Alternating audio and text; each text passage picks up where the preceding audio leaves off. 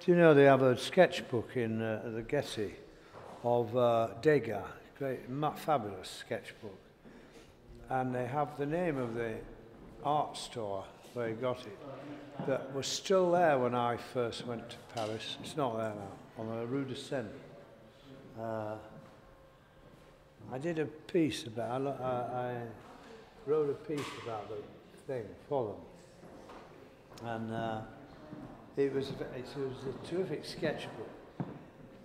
The man, who was it, Halevy Theatre he kept the sketchbook and just gave it to Degas if he ever came to the theatre and then took it back from him.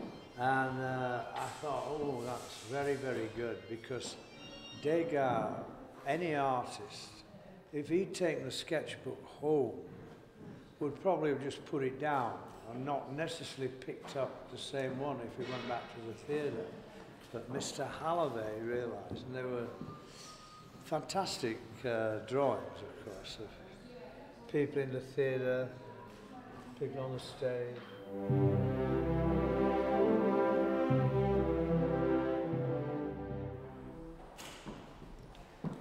Old French canvases. I bought them in the 80s.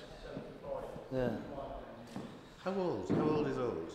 How old is old?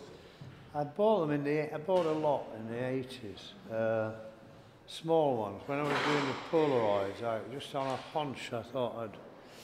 And I love the. They were all. They even uh, have tacks. They're stretched with old-fashioned tacks, and that's the standard French canvas size. They, they were just numbered. Uh, 14F, 15F.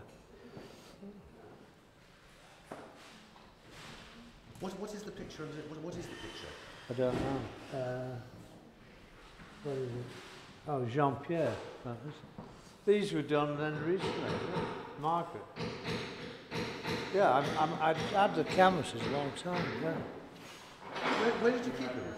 Pardon? Where did you keep them? Uh, well, I'd keep some in London and some in LA. I'd just stock and just keep them there. You have to have a lot of canvases in stock if you're painting, act, actively painting.